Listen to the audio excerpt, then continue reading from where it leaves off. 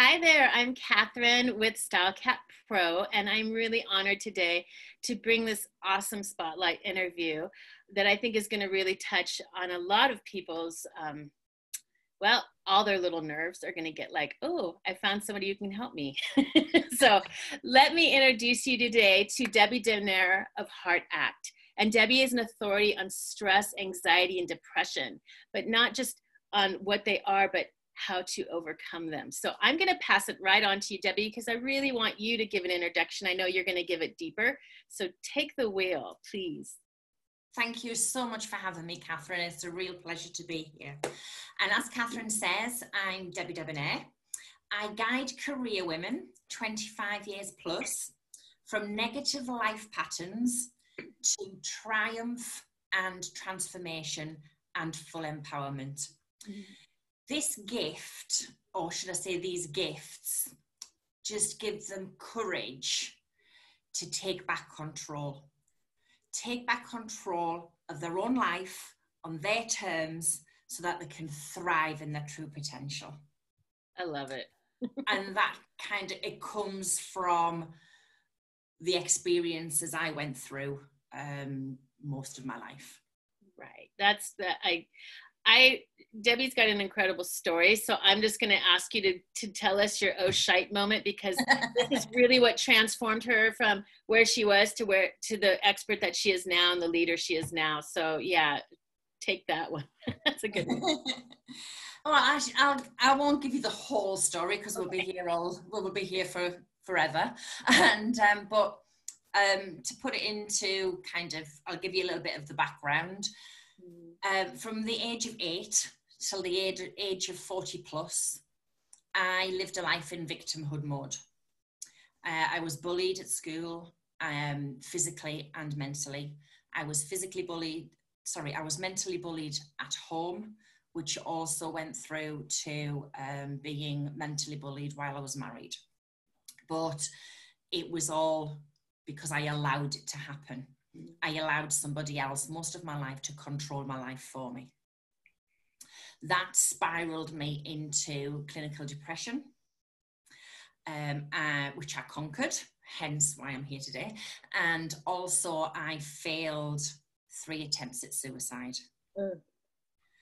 And those failures um, happened two happened before the oh moment um, and one happened after the oh moment which kind of was just a blip on the journey. Uh, the oh moment came when i woke up in the middle of the night pitch black. My ex-husband had already gone. My eight-year-old son was asleep next door. And when i woke up i was lay on top of the bed with an empty red wine bottle in my hand. And the first thing that came to my mind was, oh shit, my little boy's asleep next door. Now, the reasons that led me to the suicides was in my head, I'd convinced myself that my little boy was better off without me mm. because I was the toxic person in his life. And when I woke up, he was the first person I thought of. And I cannot explain to anybody what happened next other than it was imagination, uh, a phantom. Uh, I just can't put a word to it.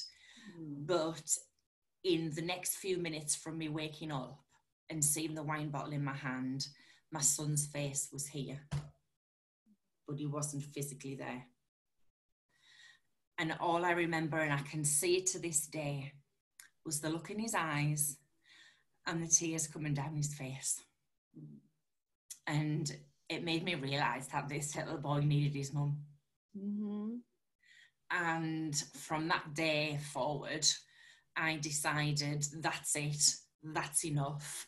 My son is more important than anything in this world and I then started to embark on the steps to improve my life, take myself out of victimhood, take control of my own life, and not be controlled by somebody else, not be somebody else's puppet, which I had been for most of my life. And that was my oh shit moment. And I just went on a journey to um, build my confidence, build my self esteem, um, empower myself so that I could be there for that little boy who needed me. Wow, what a transformation. Um, yeah. Wow. And it, you know, considering um, I love the theatre and I acted from the age of eight years old, I realised all of that time I hid behind those characters. And it was about time I took the mask down. So I took the mask down, I stepped forward, and I worked damn hard to bring myself where I am today. Because nobody now gets in my way. I love it. I love it. I love it. And, and this is why I am so passionate about reaching out to other women who feel that they struggle to deal with the basics of daily life because they're being either controlled by themselves in a negative way or controlled by themselves or controlled by someone else. Yeah. And it was because of that control and because of that pounding all the time that I spiraled into clinical depression, went through the anxiety, went through the stress, and and now I've done so much research on stress, anxiety, depression, its causes, how you know one thing can affect one person and not affect another. Um, so I've really researched it really deeply so that I can now bring people out of stress, anxiety, and depression. I can guide them, but I can't do it for them. Yeah, yeah, exactly. You, you went know? from being the actor of your own, you know, scenario to being the director basically you know you like yeah. got off the stage and went behind the stage and worked on the really important stuff you know for sure. And, and you know now i when i work with women I, I say to them you know inside of you you have your own leading lady that needs to come out to step out onto your own life stage the way you want it to evolve Mm-hmm.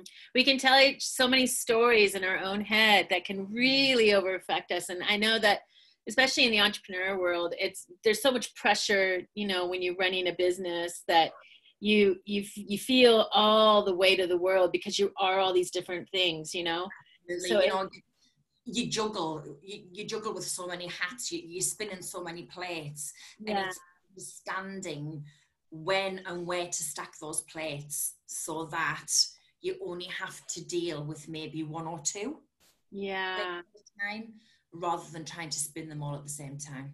Right, right. Are there like particular, like, say somebody is, um, and this is a little bit off of our, we have some, you know, questions I want to make sure I pinpoint, but this is a little bit just from listening to your story. Are there like maybe symptoms or um, triggers that people who might not even know that they're on that level of depression. Do you know what I mean? Like they might be so wrapped up in their game that they have no idea, but things are just keep spinning. Are there things that they can look for that go make that make them go like, hey, this is a this is something. Exactly. Yeah. And and you know what what a lot of people um tend to do is they look at stress, anxiety, and depression as causes, mm-hmm. but they're actually symptoms. Mm. Okay. They are symptoms of something causes those symptoms. Right. Okay. It's like, for instance, having um, trying to think of a, a, a, disease that's not too kind of heavy at the moment, but say you had chicken pox. Okay. chicken pox is the cause of you developing spots, having itches, scratches, having a temperature. So there's the, the, the spots and the itches and the temperature are all symptoms of the um, the chicken pox. Mm-hmm. So this is why when I say to, you know, because I've had clients in the past that said, but um, I'm depressed, I've got depression, I've got anxiety, I've, you know, and I'm saying, yes, I totally understand that, but we need to get to the because mm-hmm. So, what mm-hmm. causing your anxiety? What is causing your stress? What is causing your depression? And often I get back, it's my anxiety that's causing my anxiety. Mm. So it's looking, like you said, for those triggers. Yeah. And, and, sometimes it is very hard to find those triggers when you are so inside of it, mm-hmm. you know, because it, it, especially anxiety, anxiety is so overwhelming you know and and the panic attacks and and you kind of go into a complete kind of catch 22 situation because the more you get anxiety, the more you get the panic attacks. So, one of the things that I always stress to people who feel, because when you have anxiety, you, can feel it coming on. Mm-hmm. Okay. Yeah. So when when you feel that coming on, it's to become consciously aware of your breathing. Because if you're not consciously aware of your breathing, your breathing speeds up but you can actually control your breathing. Mm, that's a good one. You don't need the anxiety to control your breathe, breathing. You can control your you can control your breathing, which then in turn controls your anxiety. Mm-hmm. So it's not focusing on the anxiety, but focusing on the breathing. And because I work very much from the heart, I work from the heart to the mind and not the other way around. Mm-hmm. Um, and not you know not the mind to the heart that one of the um, techniques I share with people is when you feel that coming on, put your hand on your heart because your heart will be going, you know, and then as as your heart's doing that, your hand's going up and down. Mm-hmm. So if you can consciously be aware of the movement of your hand, you can slow it down. I love it. Slowing down your breathing. Yeah. And kind of subconsciously, your hand starts to slow down because you've started slowing down your breathing and you've slowed down your heart rate. That's a big one. And you've prevented the panic attack. Yeah, that's a big one. That's like definitely taking control of the anxiety right there. Yeah. yeah, Just by breathing and just by that. It seems, you know, it, it seems very simple. And the, the technique is very simple but it's not easy. And I totally appreciate that. It's not easy, but yeah. it's about practice. Yeah.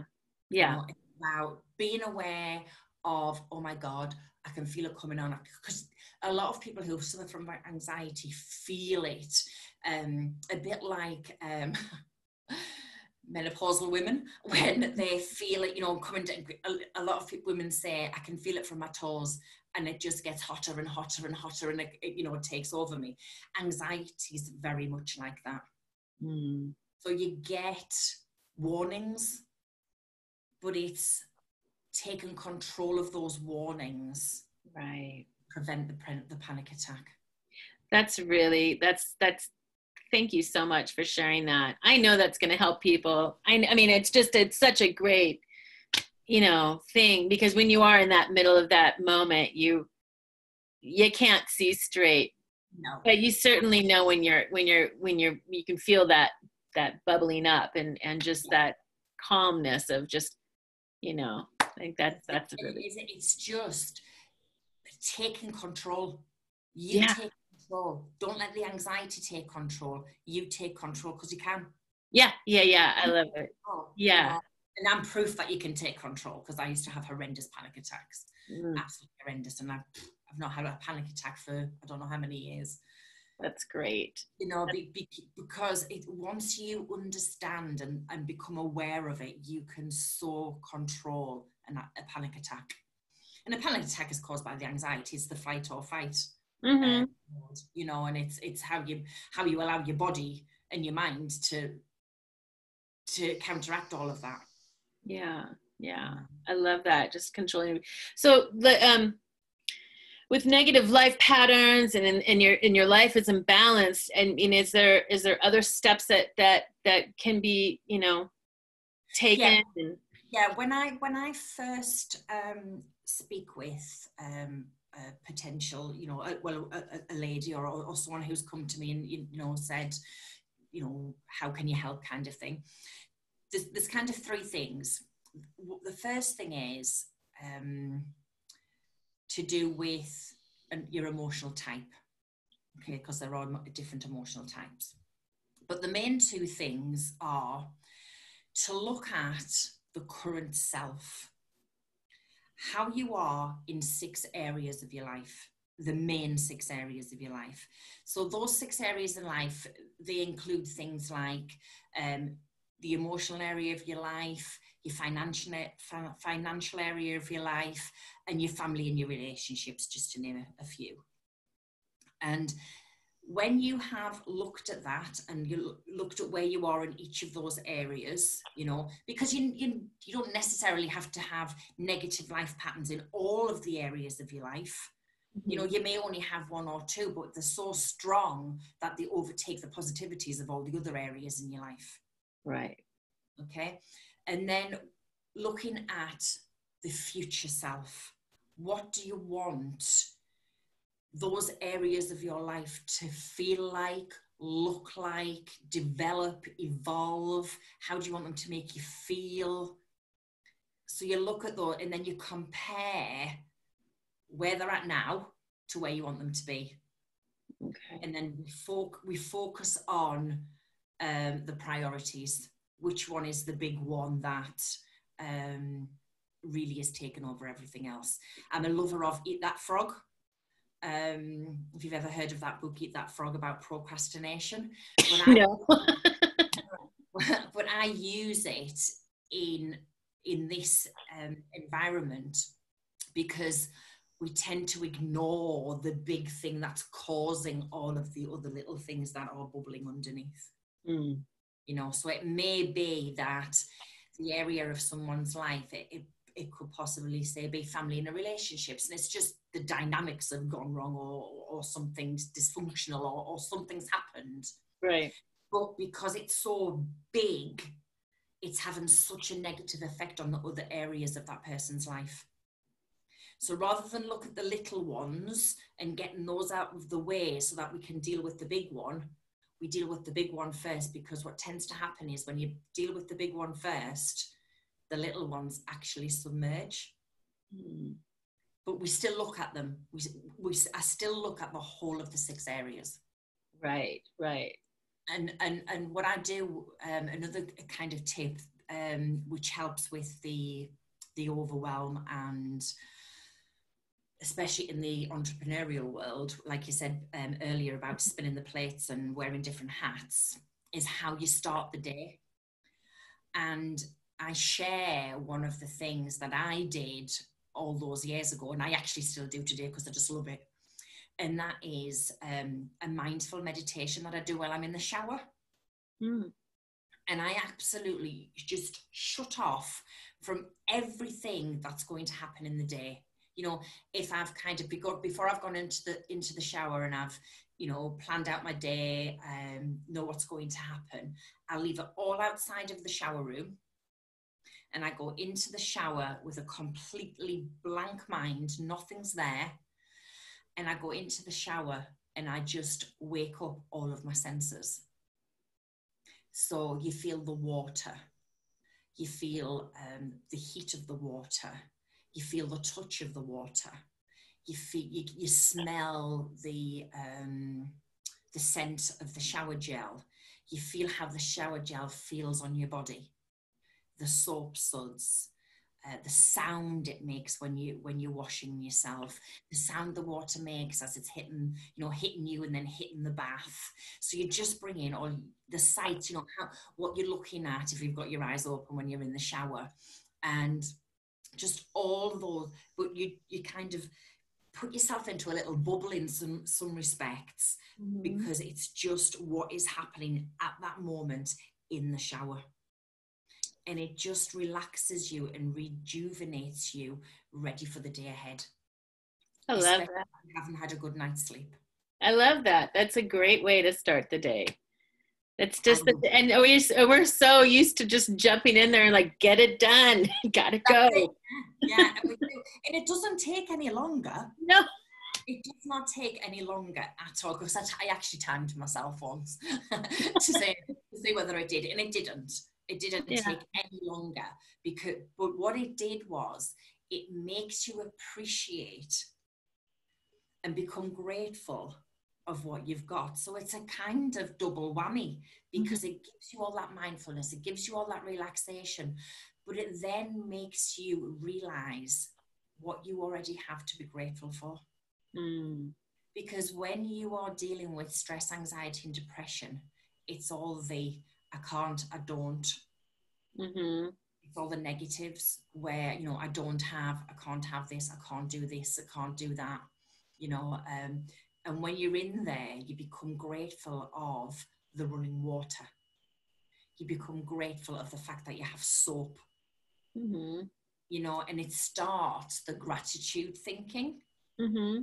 you know, right from the beginning of the day from a very organic place from a, from not having to sit in your journal and write the 10 things you're most grateful for you know which is like you already feel resistance to that because it feels like you're writing sentences in school because you did something wrong you know? So this is like a, a really like organic just great way to just like enjoy that spa moment too just the, the like you go to a spa and it's like all about your senses and feeling and you're doing it on a daily basis. That's a super simple tip that anybody can do. I love i love these and the thing is as well you can do a very similar thing at the end of the day if you're someone who likes to have a bath.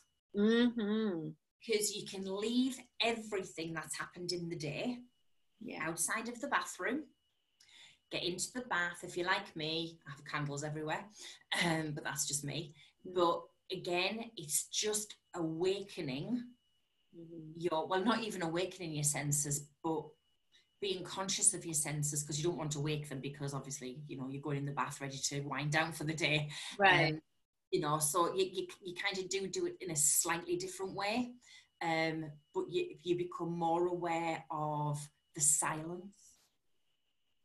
Um, uh, because in when you're in the bath, obviously you haven't got the running water. Yeah. So you have the calmness of the silence, yeah. but you have the feel of the water while you're in the bath and whatever, you know, portion, lotion, or whatever you put in the bath. You know, you have those senses. You've got the sense of smell. You've got the light of the candles if you put candles in there. You know, so you, you're choosing different um, things to be sensitive to. Mm-hmm. Um, in the respect of your senses, not sensitive as in, you know, from a negative point of view. Right. Um, so, but it winds you down ready to then bring you down so that you're not all hyped up before you go into bed, go, go into bed and then you're not going to get to sleep because oh. of everything that's happened in the day and you go, oh, you know, and you yeah. get yourself all here because yeah.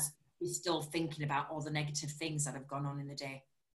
Yeah. You know, I mean, obviously, I'm not saying everybody has or the to-do list or the to-do list. You know, it could be not necessarily negative, but but oh. you're just you're not turning yourself off and just being like this is my time and you know. Yeah. You, you're not turning yourself off from the to do time. Yeah. To the being time. Yeah. Yeah. you're still being you're still being a human doing and not a human being. And that's such a that is such a i mean it's a super common thing that happens and it's and and as an entrepreneur it's super super common because mm-hmm you just never really leave the office because you just you you're you are the office. So this is a great way to like kind of go into a sanctuary mode and come out mm-hmm. in a sanctuary mode. I, I really these are such practical tips all of the things you're sharing. and in between times between you coming out of the shower and before you go into the bath you then have a day where you need to become consciously aware of what you're thinking about Mm-hmm. And this is paramount for people who are dealing with stress, anxiety, and depression. Mm-hmm. Because we're not sometimes aware of the triggers because we're not aware of what we're thinking about. Mm-hmm. So, throughout the day, if you can become conscious of what you're thinking about, and when I set out in my own recovery to, to put this in place, I used to set um, times in the day. So I used to say 11 o'clock, 2 o'clock, and 5 o'clock. And just, just stop. What am I thinking? What's in my head? Right? Is it serving me well? Is it negative? Is it po- if it's positive? Is it positive? If it's positive, I used to actually physically pat myself on the back Love because it. it's, it's sounds really ridiculous. And if anybody was watching me, you know, they think I'd completely lost the plot. But that action, you are giving yourself something, something, you're giving yourself a reward. Mm-hmm. You know, if it's a negative thought, um, it's right, okay, that's really not serving me very well. So that's the negative thought. What's the positive opposite to that? And when you start to practice putting the positive thought back in instead of the negative thought, you know, they say practice makes perfect. And if you do something for 28 to 30 days, it becomes a habit. Well, at the end of the day, you know, someone who is stressed, and got stress, anxiety, and depression have got there through habits. Mm-hmm that they've been in for more than 30 days. You know, I mean, I was in them for nearly 38 well, more than 30 years. Um, you know, so they're not going, you're not going to come out of them overnight. But if you conscious, you know, if you can consciously be aware of those negative thoughts and what those negative thoughts are doing to you, so you can then change them and bring the positives in more often, eventually they'll take over. ah beautiful. Beautiful. This is so good. This I is, mean, I, no, this is so, so helpful. Yeah. You can do it as a thought diary if you want to. Right, right. But I love the idea of just like these little check in times and just like the simplicity because sometimes it's that whole thing of like, you know, you can't always just stop and do a journal you know you could be on a bus you could be driving but it's just like a check-in time to just check in with where you're at that's a really that's a really um, great tip for anybody whether mm-hmm. even if they're if you're not suffering from anything it, if because it's just a check-in it's like why yes, not it is exactly you know and if if for instance you know you're not someone who um is going through the stress anxiety and depression um, but you the, the day hasn't ran the way you wanted it to wanted it to run. Mm-hmm. By having those check-ins, you can see what it is that is triggering or what, what was it that triggered or potentially triggered the thing that had gone wrong. Mm-hmm. because you're not consciously aware of your thoughts, it's been and gone. Yeah and it's too late to then i mean yes you can reflect back but sometimes you know depending on, on what's happened in the day and, and how you are feeling you can't bring it back mm-hmm. because you've blocked it out. Yeah. Yeah. You know, so becoming consciously aware of, of, of thoughts and feelings you know and how your heart is feeling and what, what's your heart telling you. You know um, if you if you feel like you've had a bad day and, and you get home and you've got your the pain the pain in your heart as I call it um, why why have you got that pain in your heart? Mm-hmm. You know what what happened but because you weren't consciously aware of the pain in your heart until because you know a lot of entrepreneurs are on the go one thing after the other one thing after and when they sit down and they stop that's when the pain comes Mm-hmm. The judgments. Yeah. like, you know, because it's like we're, as an entrepreneur, you become your own, you know, you are the manager. So you're constantly giving yourself the report of the day, like, well, you didn't do this and you didn't do that. You did, the, but it's always, it just, the negative tends to come up before the positive. Absolutely. And one of the things I, I really stress when, when I'm, de- when I'm working with people is let's forget about what you didn't do. Let's forget about what you haven't got. Let's look at what you achieved, what you've already got, and it really puts things into perspective. Mm-hmm. Because part of what I do is I've also um, developed the um, nine pillars of emotional resilience, which I bring in to the six areas of your life. And those um, include things like self awareness, responsibility, self management, acceptance because sometimes we just have to stop, pause for breath, and accept this is how I am right now at this moment. I accept it. And I use an acronym quite often, and it's called the RARE technique. And it's recognizing, accepting, releasing and letting go, and embracing yourself for doing so. I love it. I love it.